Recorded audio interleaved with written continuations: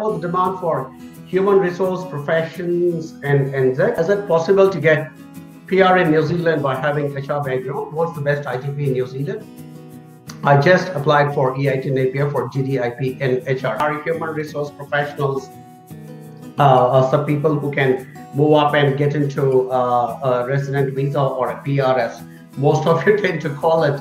Uh, is absolutely why not? I mean, uh, again, like I said, we've had so many of our students who come and done business courses here, and some of them have HR background. So absolutely, there is a possibility. But having said that, the uh, there is a problem with HR uh, professionals uh, planning to come to New Zealand and get into pure HR work because HR human resources will depend on labor laws and labor laws can differ from country to country. In fact, there was a very senior gentleman and also a client of ours uh, who came from India, and he is a very, very senior HR professional. And by that, I mean uh, very senior in the sense he was almost like the vice president of a, a, an organization with 10 or 15,000 people uh, uh, in India, and he was the head of HR for that. And he and I had some good discussions, and he said uh, for HR professionals, the challenge is that most HR professionals who come from other countries to New Zealand are not 100% conversant or familiar with the HR